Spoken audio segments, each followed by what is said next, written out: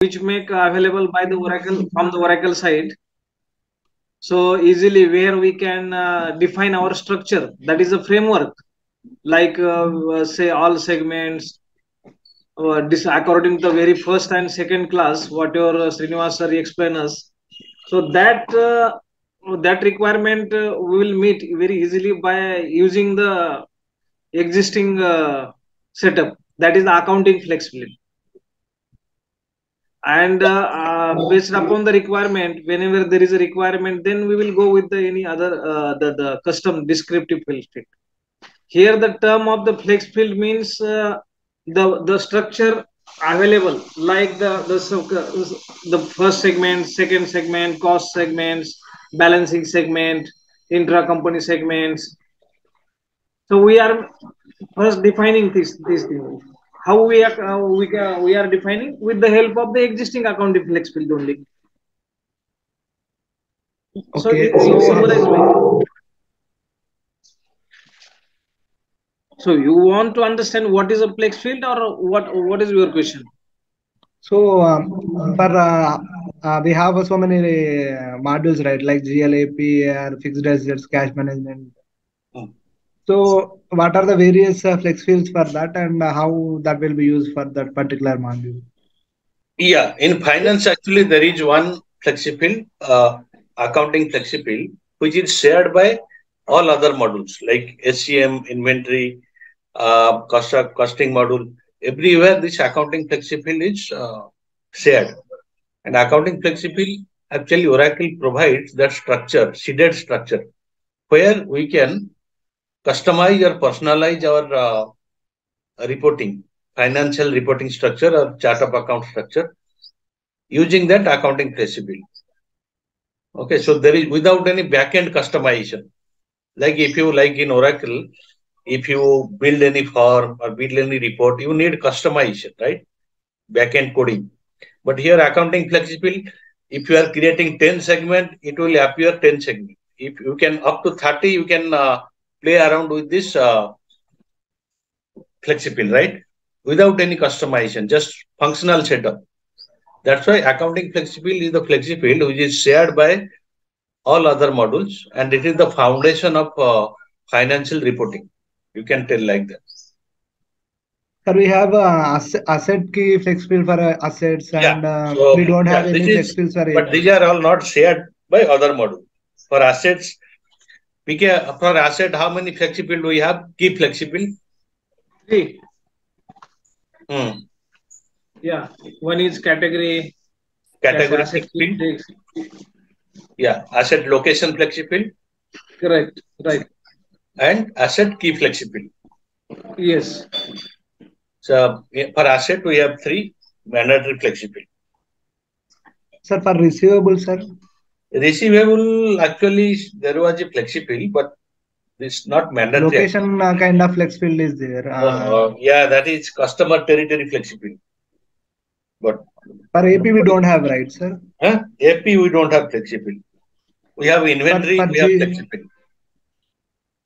Okay. For for GL, sir, only accounting flex field itself. Accounting flex field, and this is the key flex field. And then we have descriptive flex field. So, what is the difference? Key flex field is the mandatory you have to build, but descriptive flex field is optional. In addition Okay, to like any information which is not can be captured with the standard forms or standard flex field, you can enable the descriptive flex field and capture additional information. And DFF is available for all modules like Okay, sir. AR module, AP modules, fixed asset modules. When we are creating asset, in the asset uh, form, you will get some flexibility. If, if you enable, suppose you want to capture like uh, any standard field which is not available to capture this information. Okay, okay. So Yeah. yeah. And receivable, uh, sometimes where if uh, there is a TCA architecture and sometimes uh, the territory uh, along with the location also used. Okay. But it depends upon the uh, need of the business. अच्छा when he's asking what is accounting flex field, just elaborate like that in four five sentence. Accounting flex field is the seeded flex field provided by Oracle, where we can customize and personalize our financial reporting structure without any coding or customized, uh, without any backend coding. That and it is shared by all other modules. And with help of accounting flex field, we can create our chart of account structure. Chart of account structure can be used for chart of account instance, where the complete uh, financial reporting will be based. Like that, you can mention.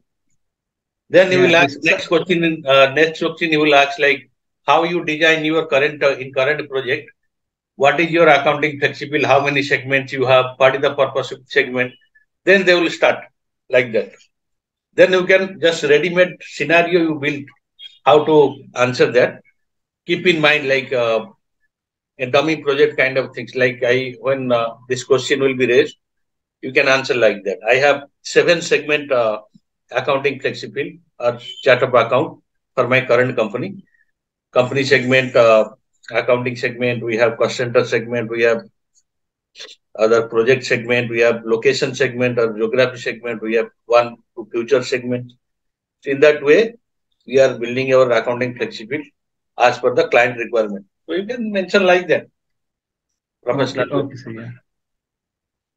Sir, what is the difference between uh, this lookup type and uh, DFF, sir?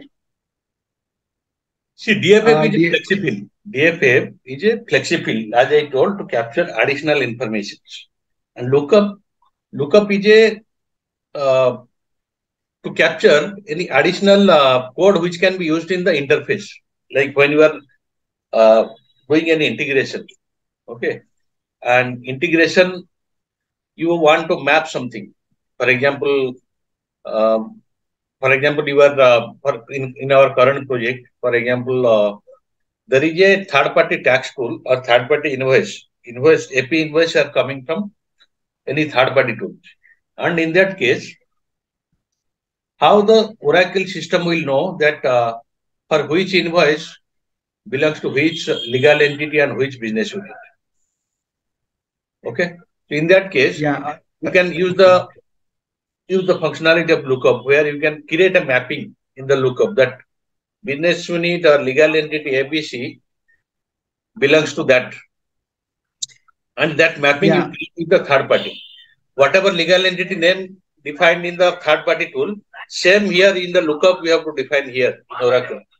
So that integration will uh, recognize that mapping and uh, will pass the value, correct value. Yeah, yes, sir. Both are uh, additional segments only, sir, or uh, a, These are not lookup segment. is uh, These are not segment. Lookups are just codes. This lookup you can define. For example, asset type or asset type you have or uh, anything additional uh, nature of the assets you want to define. For example, there are seeded uh, like uh, capitalized asset. Uh, yeah, we have uh, lease asset, but you want to create a different asset type, a retirement type, for example. We have retirement uh, asset retirement we are doing. By selling we are doing. By trading or by the asset is uh, asset value is completely reserved then we are retiring. But there are three four seeded value exist for asset uh, retirement. But as per your business requirement you want to create additional uh, lookup code which can be used as a asset retirement type that also you can define similarly many examples customer type we have some customer types are there supplier types are there but you want to create additional supplier type which you can use while defining the supplier. So once you create that lookup code, it will be available in the supplier LOV. But each lookup type and uh, modules, uh, module specific lookup type are there. So you can just uh, select your module for which module you are creating lookup and uh, define. There are many uh, uh, functionality like just to capture any additional code, nature of the assets, nature of suppliers, you can create. And this lookup type can be used for importing any data from outside system. Also, you can Oh. use it. Yeah, sir. Uh, for the confirmation, so uh, DFF is like uh, to add the additional columns in the table uh, lookup code can be used for uh, seeded and as well as addi- additional uh, columns as well, right, sir? For list No, of additional values. columns we are not doing. In lookup, see, lookup already we have asset retirement type is there. Let me go to, for example, which is seeded. which is seeded. For example, Okay, do we have any asset uh, setup uh, is there? Uh, no, no, sir. I didn't have a knowledge on assets. Not set up? Okay.